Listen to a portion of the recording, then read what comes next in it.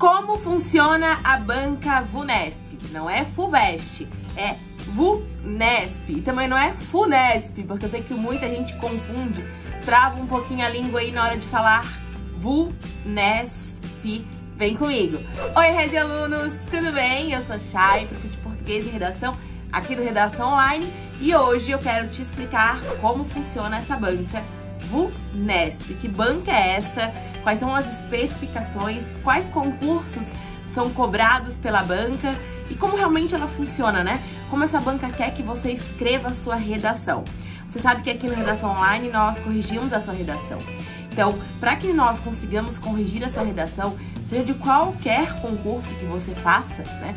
Porque nós analisamos o seu edital e corrigimos todos os concursos no nosso plano de concurso, a gente tem que entender junto com você a especificação da sua banca. E talvez sua banca seja nesse momento a VUNESP, já que você está aqui no vídeo comigo. E para entender a VUNESP, eu quero que você primeiro esqueça aquilo que você sabe sobre Enem.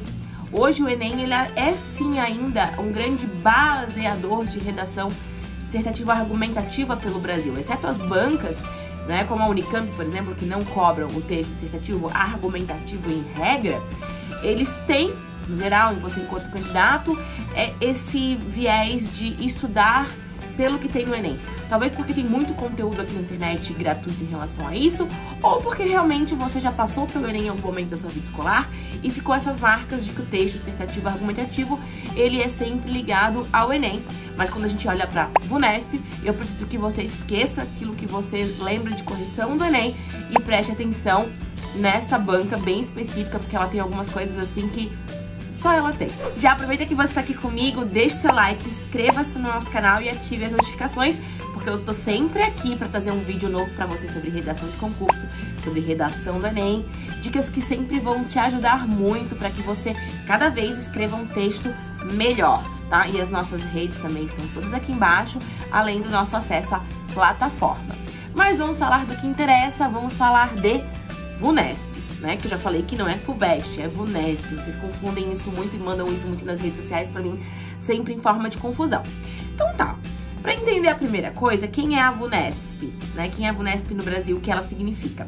A VUNESP no Brasil, ela é a banca que vai fazer assim, dentro de São Paulo, tá? Então, a banca que praticamente fica só dentro de São Paulo, pega os concursos da região é, do estado de São Paulo. Então, pega carreiras policiais, inclusive vai ter um, um um concurso logo agora da PM, que vai fazer, é, que vai fazer a banca Vunesp, né?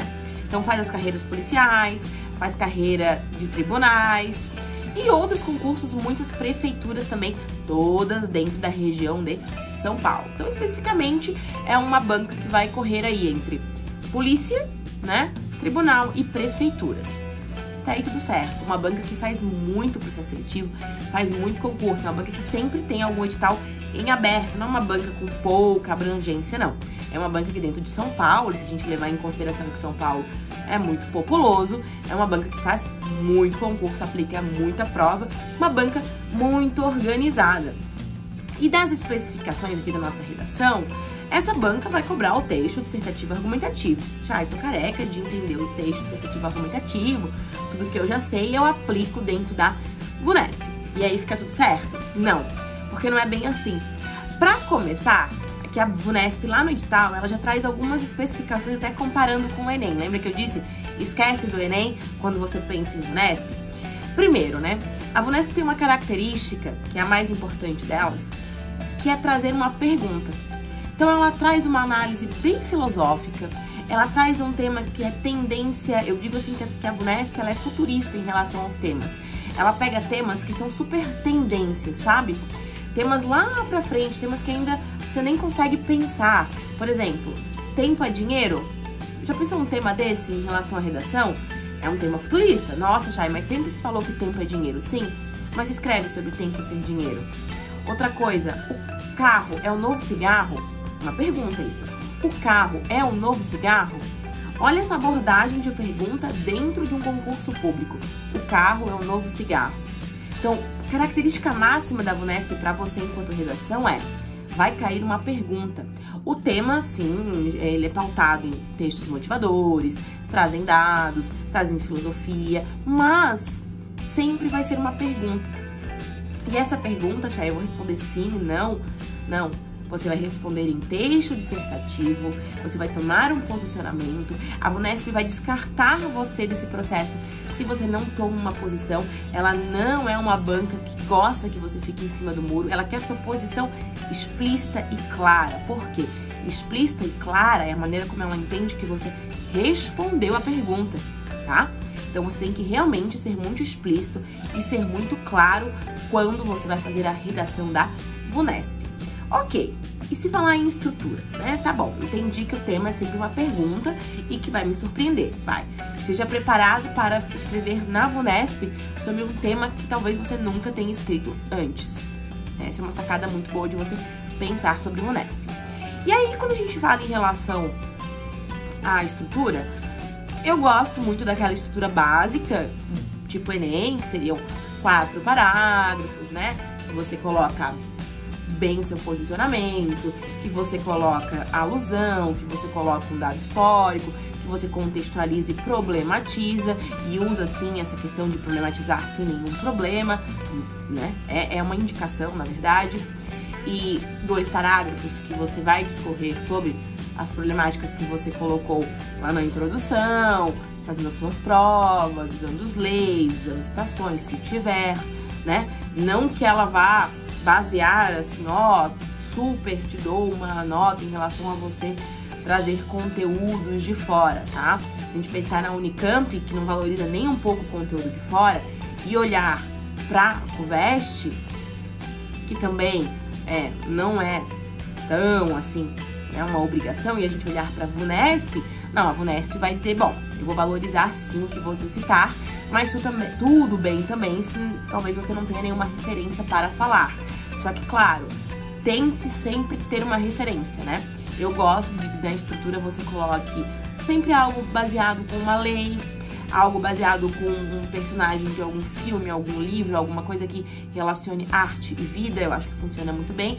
E eu gosto sempre, né, das alusões históricas e acho que tudo isso que eu falei cabe dentro de uma redação, tá?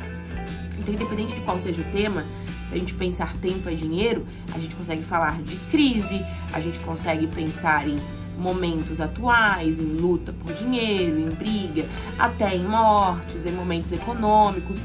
Tudo isso a gente consegue utilizar. Então, acho que a VUNESP dá temas pra gente super atuais, que sempre vai ter é, uma, uma lei para ser melhorada, sempre vai ter um filme que já baseou a nossa, o nosso momento e sempre um momento histórico que você vai olhar um pouco para o passado e fazer uma comparação do que vem para o futuro.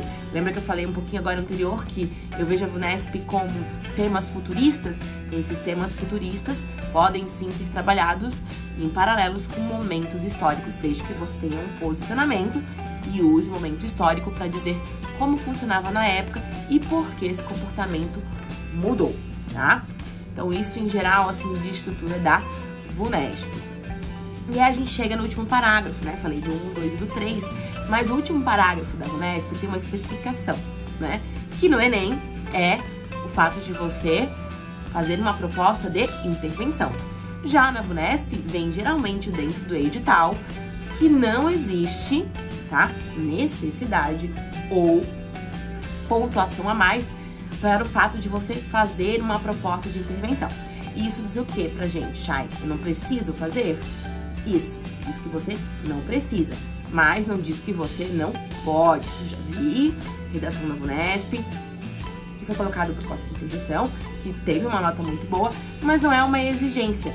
Não é como no Enem que você garante 200 pontos com a sua proposta de intervenção e você é, para e gasta muito do seu tempo de estudo pensando em possíveis propostas para possíveis temas.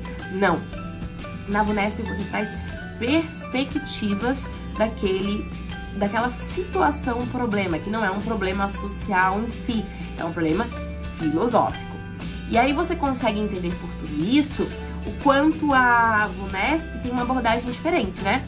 Primeiro que ela é super filosófica, super futurista, acho que leva muito em consideração com esse futurismo dela nos temas, o seu real conhecimento de mundo, porque você não consegue com uma forminha pronta, né? Outra coisa importante a respeito das forminhas prontas, a Vonesp já emitiu nota dentro de edital agora para 2022 que redações com cópia, plágio, são zeradas, tá? Então eles têm um sistema de correção consegue achar modelos prontos sim. Eles têm um sistema de correção que consegue saber se você e outro candidato estão usando modelos prontos. Não sabe esses modelos prontos que a gente encontra na internet em todo, todo momento aí? Eles podem te ajudar de uma única maneira. Eles podem te ajudar a entender mais ou menos a estrutura e palavras, jogos de palavras que se combinam e que são bons, mas nunca aplicadas numa prova que vale a sua pontuação e a sua aprovação. Eu quero que você, depois desse vídeo, dê uma boa lida, pegue algum outro tema aí da Vunesp, né? Dê uma olhadinha nesses dois que eu falei pra vocês, por exemplo, Tempo é Dinheiro e os, o carro é o novo cigarro, para você entender como funciona esse texto motivador, que geralmente de 3 a 5 textos eles colocam, não, não é uma coisa que eles colocam assim, só o tema e você se vira, eles te dão base para você conseguir falar, mas eles querem muito levar em consideração a sua interpretação e o seu conhecimento prévio. Então, o Vunesp é uma banca que não é para amadores, é uma banca para quem se prepara de fato, é uma banca que vai exigir, é, além do seu conhecimento, muita sua interpretação. Eu gosto da banca Vunesp e a gente se encontra aí nos próximos vídeos, né? Nos próximos editais e como funcionar essa banquinha. Um beijo, não deixe de acompanhar a gente aqui em todas as redes sociais e ó, nossa plataforma de correção tá aqui, ó. Eu tô esperando vocês lá dentro da plataforma. Beijo, beijo, beijo.